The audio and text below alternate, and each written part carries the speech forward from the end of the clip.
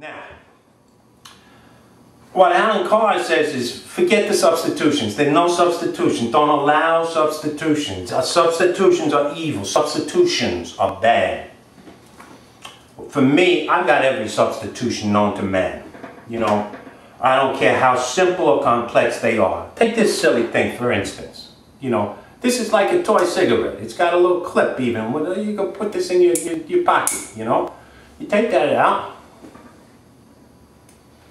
you go on a train, a plane, your neighbor's house who can't stand smoking, you know, half his family died from it, you know. It's, it's all right, I'm not smoking. You know, I, am pretending I'm smoking, but I'm not smoking, you know, there's no smoke. It just gives me that satisfaction. That gets me through a lot of the rough spots.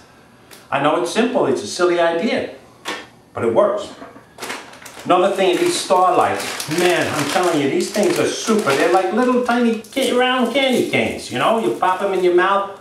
My dentist is ecstatic that they're still allowed to sell these on the open market. They rot your teeth out so quickly. They are great. They're just fantastic. Lollipops are great. Lollipops are really good. Some people go with these sugar-frees. I like the ones that have the bazooka bubble gum in the middle or the Tootsie Rolls. Those are the ones that will get you through your cravings. I don't have a cold, I haven't had a cold 15 years, but I like these halls with the Mentho-Lyptus. This, they're good, they clean, clean out your sinuses, and I like the cherry because that's my favorite. You should always have light snacks with you, you know. Light, light, I mean light, you know. Potato chips and pretzels and peanuts, you know. Uh, they have no preservatives, they uh, are made with all natural ingredients. You know, they have lots of salt, but it's real salt. It's not some synthetic salt. Uh, nicotine replacement. I started stopping smoking yesterday.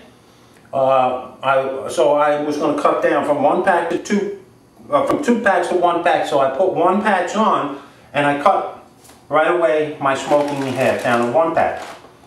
When I finished this pack, and I only have one left, I put on another one of these NicoDerm CQs on the other arm, and I go from two packs to one pack, one patch, to two patches, no packs.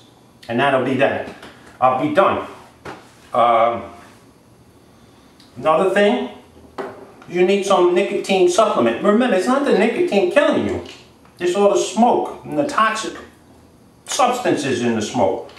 So these commitment lozenges, man, they are packed, chock full of nicotine. They have four milligrams of nicotine per lozenge. And you get like 20, 25 lozenges in this little pack, 24 of them. They say you shouldn't take more than like about 20 a day, but sometimes I'll go through two of these a day. It's no problem. I had the, the cappuccino for breakfast, uh, you know, in the mornings. I had the cherry, gets me through the day. Sometimes I'll supplement that even further with the chewing gum. I'll put a nice wad, a couple pieces of that chewing gum back there in the back of my cheek, like chewing tobacco. And you get that nicotine that, you know, gets you through the day. It's excellent, excellent. Candy bars. Should always have candy bars. Don't get the big, big candy bars, you know. Because you'll be tempted to eat that whole thing all at once, and then you, you know, you're looking for your next candy bar. Get the little ones. You can eat 10 or 20 of these and sitting, you know, and uh, they call them fun size. They're fun because you can just eat, eat them like, just eat them like crazy. What else do we have here? I was talking about the, the, the, the natural ingredients in these snacks, all true salt. You know how important salt is for the body, especially when you're doing exercise. And yeah, I went there. You're going to have to do some exercises when you stop smoking. You got to make some positive changes in your life. Now, I, I'll let you in on a little secret.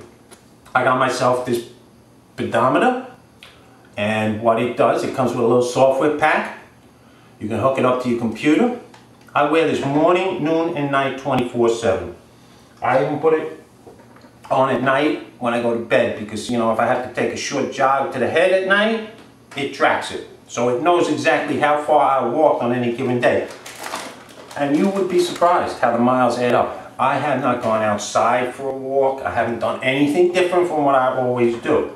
but I put on about two miles a day. And it's not that, the thing is perception. This way you're aware of all the walking that you're already doing, all the exercise you've already been getting, even as a smoker. And you really uh, come to understand you don't have to do much more than that.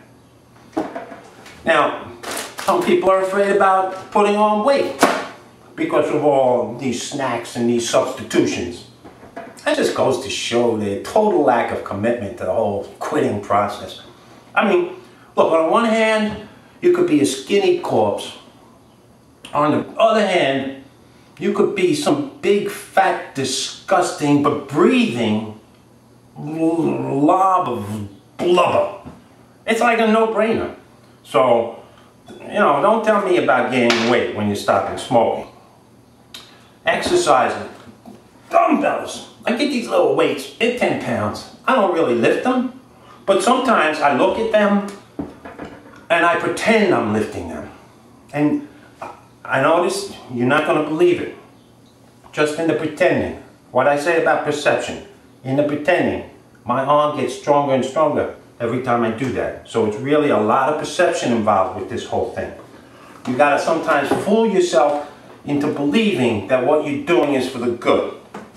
I got myself, just to show you what I mean, this ab rocket type of thing. You probably saw it on TV. I stretch a, a, a yoga mat down on my floor and I put this down on there. And when people come in, they perceive me as an ex-smoker who's really into the physical fitness. And I take that positive vibe and I make it work for me. So perception. I tell you, uh, and gums, gums of every kind, especially with the extra flavors in them, excellent. I, I have, my philosophy is if you change your perception, you can change your world. And, and, it's working out pretty good for me, as you can see. I have other exercise things. I have this big ball. I don't even remember what the hell it's for. But sometimes I'll sit on it, you know, when I'm watching TV. It's good to stretch out my back or whatever. So, all of this stuff aside, you know, you can go to to get your extreme clean aqua fresh because now your teeth are going to be bright. You can get these little stickies for your, your, your teeth. They're going to make them all white and shiny. You don't have to go through cosmetic surgery like a movie star or an actress.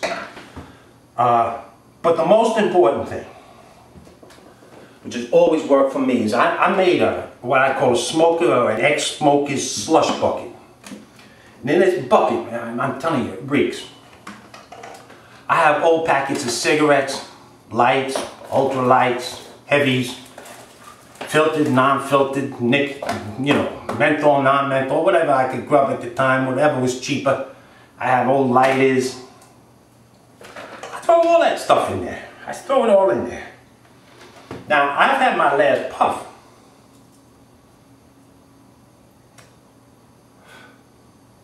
Got a little life left in that baby. I want to put that off to the side. Uh, you know, uh, that would be a memento or a, this momentous moment in my life type of thing. But when you're done, you take your last puff, take your ashtray, the whole thing, put it in your slush bucket. Because, like, be like me, I'm done. I'm finished. I'm now an ex-smoker, you know? And that's all there is to it. It's really that easy. And I want to encourage everybody who's quitting anything today, whether it's your crappy job, um, cigarettes or alcohol or hard drugs, cocaine, pot, whatever it could be.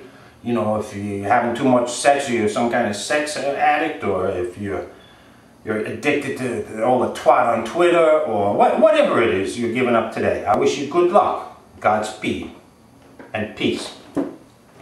The next time we talk, I'll be an ex-smoker.